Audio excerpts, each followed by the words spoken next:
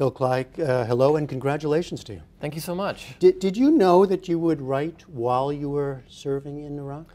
Well, I always wrote, um, not about war necessarily, mm -hmm. but uh, I always wrote stories. I, I, tried to write while I was in Iraq. It's not really, I didn't do a very good job, and not about war. But when I came back uh, from overseas, a couple months after, I started, I, wrote, I started writing the first story in the book. That quickly? Yeah. Because I, I, mean, I've talked to others and other writers of war in the past, and sometimes it takes a long time to process. You know? Well, I started writing, uh, yeah. but uh, it took me about four, a little bit longer than four years to yeah. finish the book. And, and that, that first story that I started writing, uh, I went through about 15 or 20 different versions yeah. before uh, it ended up in its final state. What were you trying to convey? What, what did you want to convey of the, of the experience of, of war? Well, there was no one thing, and part of it was, I mean, everybody has such a small piece of the war, mm -hmm. right? Um, you know, I, I, I, have two friends named Matt. Mm -hmm. uh, they were both uh, scouts and cavalry. They both served in the same section of Iraq. They both worked with the same Iraqi translator. And yet, if you talk to them, I mean, their stories couldn't be more different because one was there in 2006, one was there in 2008. Yeah, and made all the difference, right? Right, and yeah. if that's true for them, how true is that for a mm -hmm. chaplain, for mm -hmm. a, a, mortuary affairs mm-hmm. specialist? Uh, for an infantryman or an adjutant. Mm -hmm. uh, and I wanted to kind of get at that difference, and not just the different ways that people experience war, um, but also the, the ways that they experience America when they come home.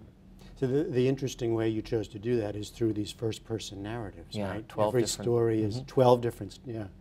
These were people, these are sort of based on people you met or knew, or how did you, how did you gather you know, these stories? there, there's no person in the book who, you know, that's so-and-so, because yeah. I think if I felt like I was writing about a real person, I would feel constrained. Yeah. You know, I feel like I'd have to do justice to that person instead of kind of go down the rabbit hole of what I was trying to explore. So, you know, I'd take things from here and there. I'd, I'd interview Marines and soldiers. I'd read books. Well, you did. You interviewed them, so to, to gather their stories. I did view. I, I, did interview people. I'd have people who knew about the subject read the story, and then I'd, mm -hmm. I'd make things up. I'd read books that had nothing to do with war, but that helped inform, you know, what my characters might be going through. Yeah. Um, and then just, you know, rewrote the stories in different drafts, sent them out to friends. Yeah. It was a long process. And, and, of course, there's the there's the language of the military, right? right? And, yeah. and, that the soldiers use, and Definitely. so you, it's it's a, something to use, I guess, and play with as well. Well, yeah, there's a there's a very particular way that the military speaks. There's a lot of profanity, a lot of acronyms. Yeah. So you know, my mother. Uh, she read the book. She, I liked it very much. You used a lot of words you weren't allowed to use growing up. Uh -huh, uh -huh, yeah. uh -huh. It's the Marine Corps. Yeah. Um, but you know, trying to get the rhythms of the speech and the way that people interpret that experience. Yeah. Um, and you know, with the with the profanity, there's there's a thing where you got an 18 or 19 year old person who's seeing a lot of the things that happen in war, which are obscene. Yeah. The language that they're going to use to try and describe that is is going to match it. Um, and so you know, the you know, sort of young grunt character is going to talk in one way. An older chaplain who's trying to work through some of the things that the right. guys are, are dealing with, he's going right. to talk an entirely different way. And that was very important for me trying to figure out who these people were. You know, one of the things that comes through is, um, on the one hand, a, a, kind of cluelessness sometimes mm -hmm. from uh, uh, somebody, you know, you don't know what's going on, you know, what right. are you doing here? But then an intense awareness and intelligence of what, of what, what they're all about. And an awareness of the world in a way that we don't often see it. Right. There's, a, there's a, a, a, section there of the character talking about walking down the street, and I could what is I could see a dime. I could spot a dime in the yeah. street 20 yards yeah. away. Yeah. yeah. Which was told to me by a um, by a friend of mine uh, who'd served in the Second Battle of Fallujah. Right. Because he's on patrol and. Mm -hmm. And it matters. He has to be that aware, uh, not just to protect himself, but also also the men around him. Yeah. Um, and then he, you know, he carries that state with him uh, when he comes back home, you know, immediately after he comes back home. Yeah.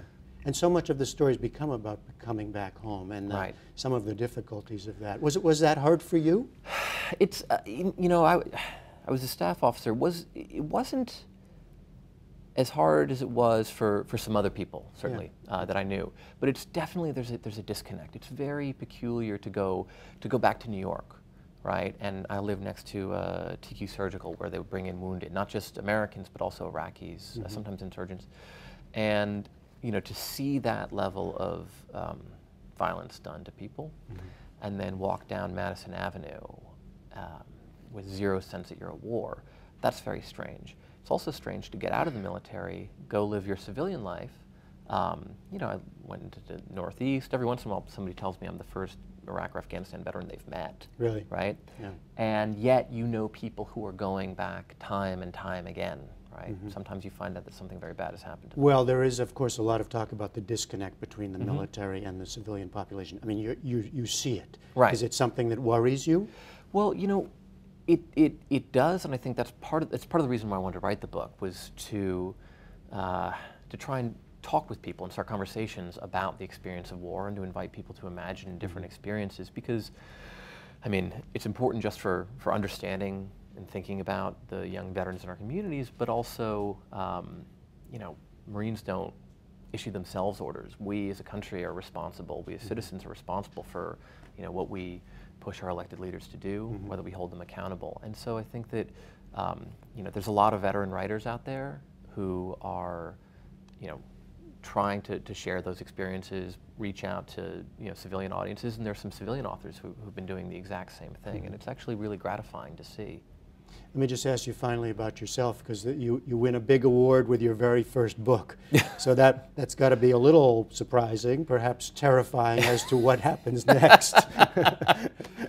Well, yeah, we'll see. it was, it was, uh, yeah, it was quite a quite a surprise, um, and a Do very good one. Do you see yourself writing more about, about war, about that experience? I'm. I'm going to keep writing. We'll see. We'll see what it's about. Yeah? yeah. Okay, well, we will see. Phil Klay's book is Redeployment and winner of the National Book Award. Thanks a lot and congratulations. Thank you so much. Thanks for having me.